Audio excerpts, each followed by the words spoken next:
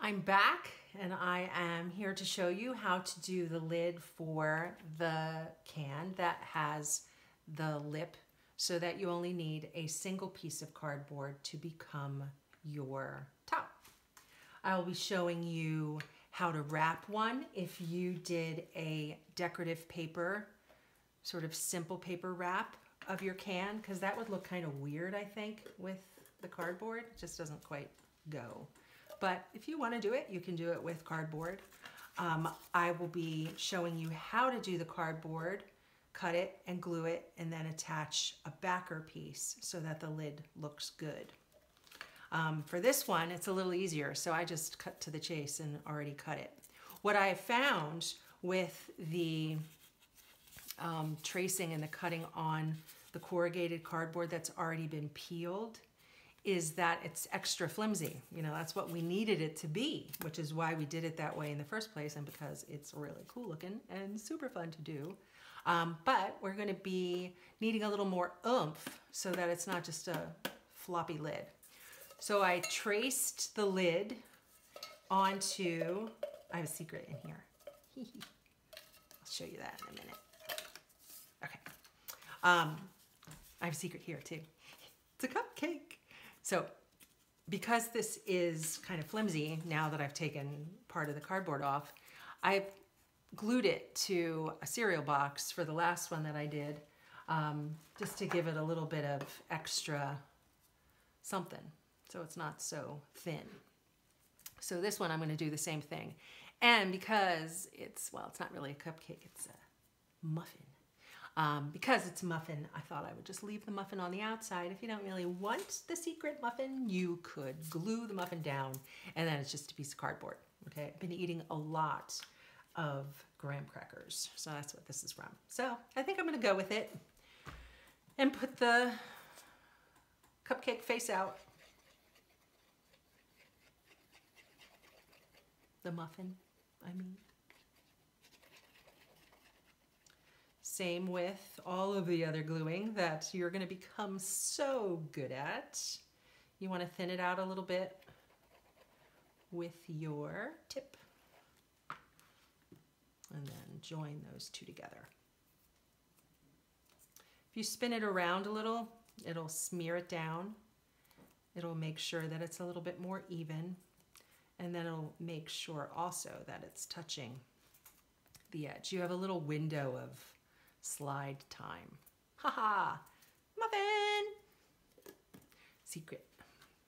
Okay, one of the things that makes all of the lids kind of unique and different is what you're gonna do on top. So it's very, really difficult. It's easier for the ones that have the flange on the bottom that you've attached because you can grab it. And technically it doesn't have to have a little doodly doo, even though I think it's kind of cool. Um, for this one, it was recessed. So instead of putting something on the top, which would have covered the center of that flower, I decided to put a leaf. So it becomes like a lift off tab. So you can do that. Or you can do something super cool. For this one, I want to make a butterfly. Totally random. I know it doesn't have anything to do with my little secret muffin inside the can, but it's going to be nice, I think in my head, it's nice. So what I've done for the butterfly is I've drawn half of it on a folded piece. So just like when you made hearts in kindergarten, you'd fold it over. Make sure you're drawing on the side that has the fold. And I had to draw this a couple times. I didn't like some of the first versions that I had. This is just one thing. I'll be showing you something with butterfly out of cardboard a little later something a little bit more fun and hopefully exciting to you. But this is your template. So that's a little butterfly. He's gonna sit on there and he's gonna become my top. But he's gonna be made out of cardboard. So I'm gonna draw half of him on, half of him on.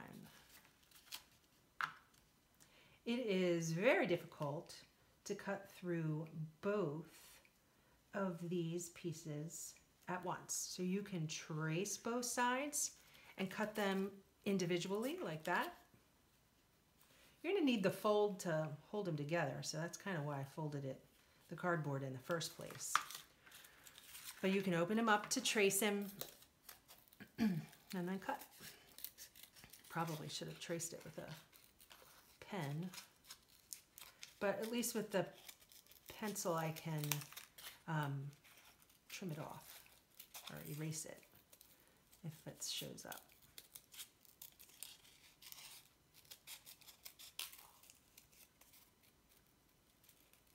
I specifically chose to put it on the cardboard this way so that it would fold a little easier.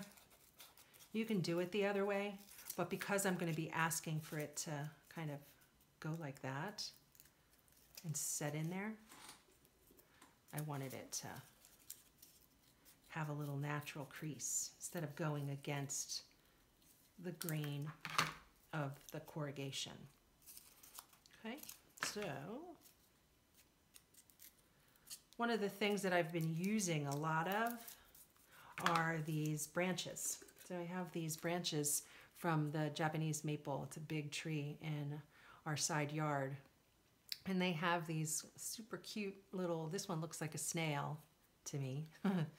but so that's the little picker upper. It's, and these are all just on with Elmer's. You can't see, I just you know, put a little bit of glue in that crease and then stuck a rock on top and it stayed nicely. For this, I will be finding another one of those branches, gluing that into the fold, and then gluing this into the fold. So if you can visualize that, that's okay.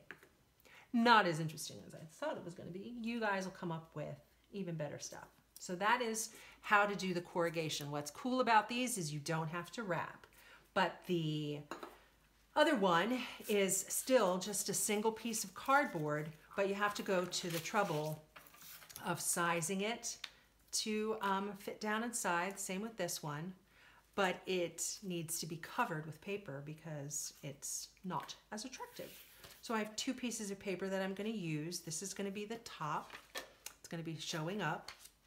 And then I have little Flash Gordon, and he's gonna be cut to go underneath. Okay, I've traced where the outline is because I already I know, but I want to show you how to do it, that you have to make your template to fit down inside. So I could just cheat and just use this, but I if, if this is the only video that you're watching, I want you to know how to create that lid so that it sets down inside. Flip it over, trace it with a pencil.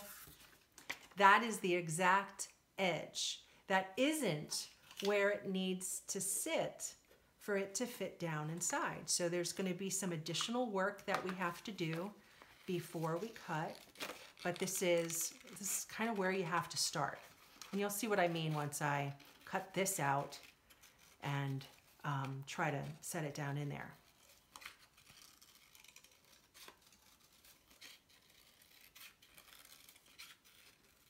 If you've watched both of these videos, you know, it depends on the can. Like some of you are probably only going to watch this because you have two cans that have this kind of top.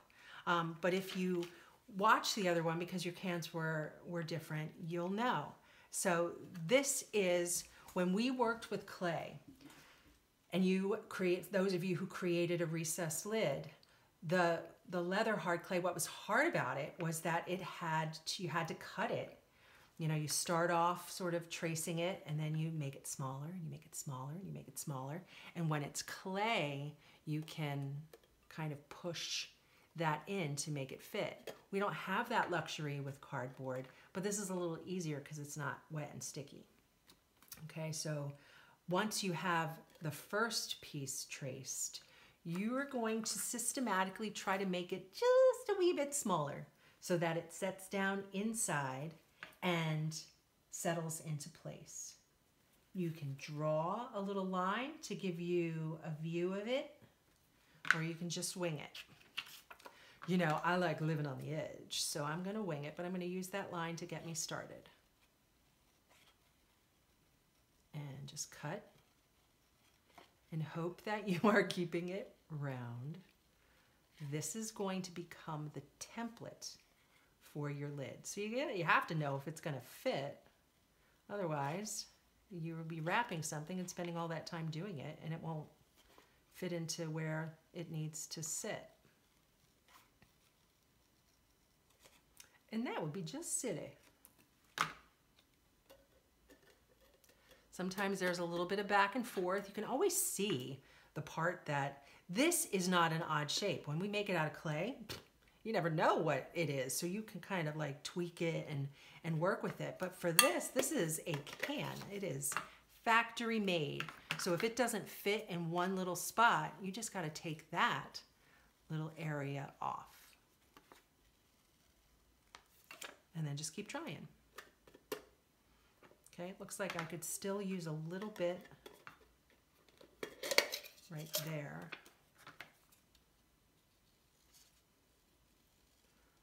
And it is going to have paper on it. So once the paper is wrapped around, it's going to give it a little bit of extra space. There's some slight gaps there, but that's not really going to matter. So don't, don't, you know, worry about that kind of thing. Okay, so now you are going to take your template, trace it onto the cardboard, and cut exactly. Now that you know that that template fits, cut exactly to that line. Don't throw this out. I mean, maybe you want to make more. Who knows? Um, this way you have something. A lot of these lids are interchangeable. So um, even this one, I think. Yeah. So these are the same diameter. So you could deal with that like that.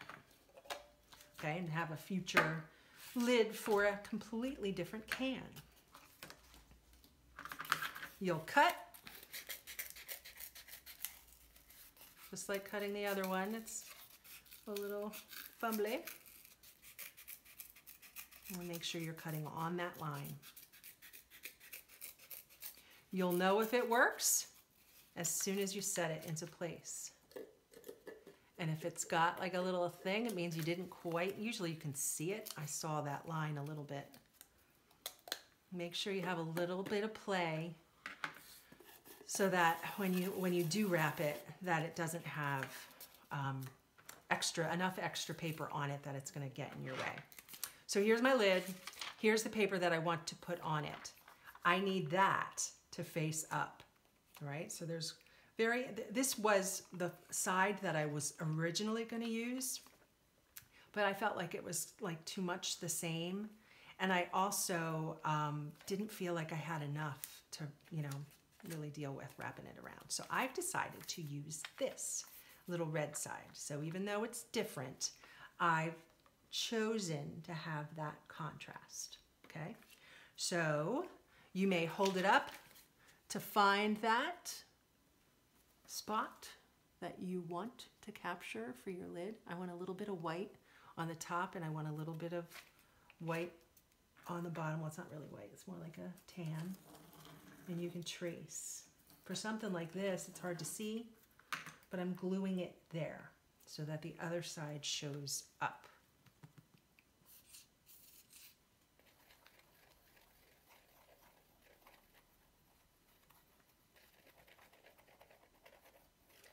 Some of this is redundant for those of you who have watched several of that. I apologize. But depending upon who's watching what and, you know, in what order, some of it needs to be kind of repeated. So just slide that around, flip it, make sure your glue is completely stuck. Okay, there's a little bit more here that I need, so I am going to cut some of that off. Leave enough of a surrounding edge that you will be able to snip and wrap it around, okay? So I'm going to cut here about a half inch apart. If you watched the first video, you know exactly what I'm doing, so you can fast forward if you like. Or you can just keep watching so that you can see and marvel in, I don't know, in this funness, in my face. anyway, Just keep working your way around. If it's too wide, you will get corners when you fold. So just keep your snips small enough that by the time you go to peel these and glue these down to go over, that you don't end up with any weird points. So it's a little feathery. Okay, but it's going to look like that. You do a bunch of these at a time.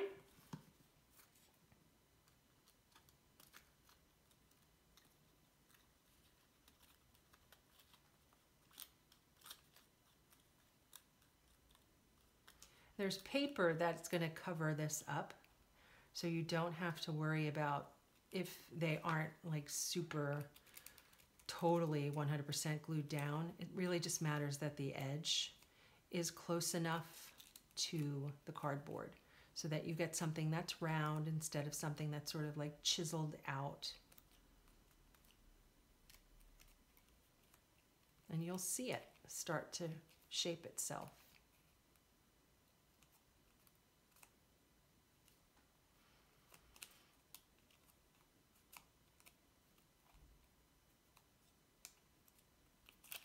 Anything that's pump, bumping out like that, you can smash it down. And that edge should look relatively round. But, ooh, I still have some by the time it's down.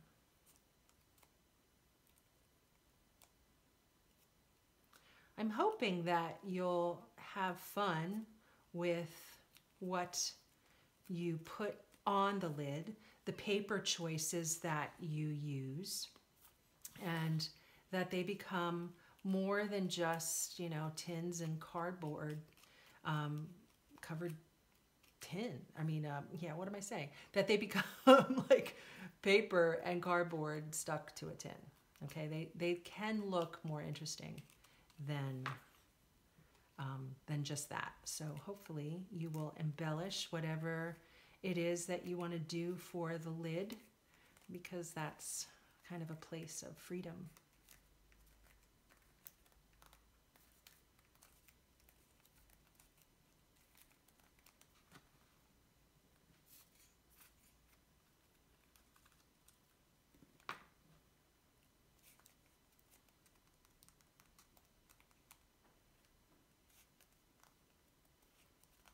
Okay. So obviously you can see that it's not completely covered.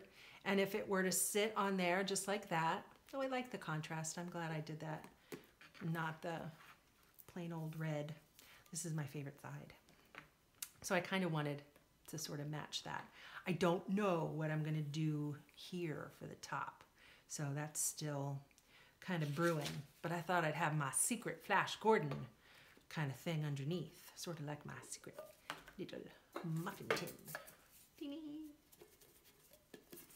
Um, so I've already drawn the line. The line is the same size as the tin. And that is because in bookmaking land, um, which I love to make books, it's been a long time, but I love them. Um, this is called an end sheet. Okay, so it's the, the thing that covers up the mess. So this just will get trimmed just a little bit so that you can see a little bit of the edge of the of the wraparound, but more of the um, Flash Gordon thing. Okay, so I'm cutting directly on this line so that it is as shapely as I can get it.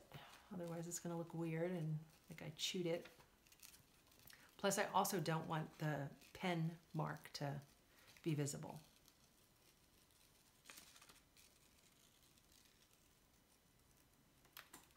Flash!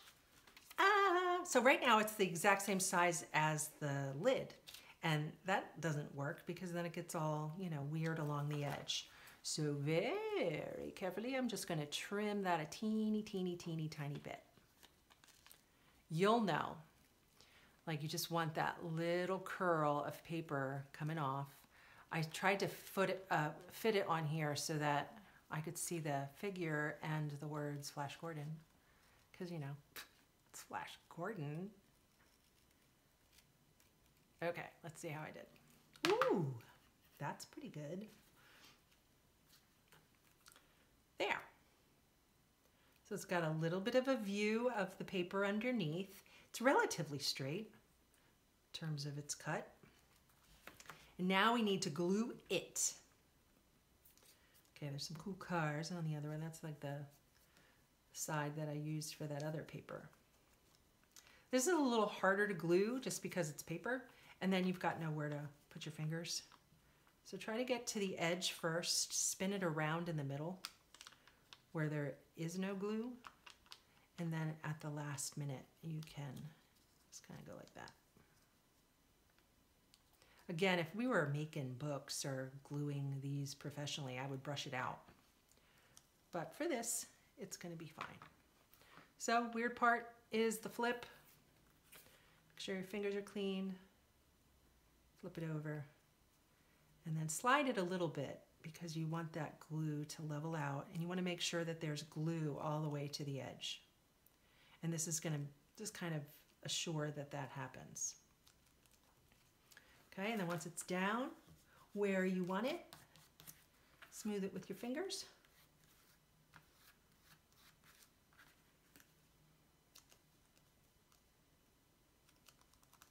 And just like that. okay. There you have it.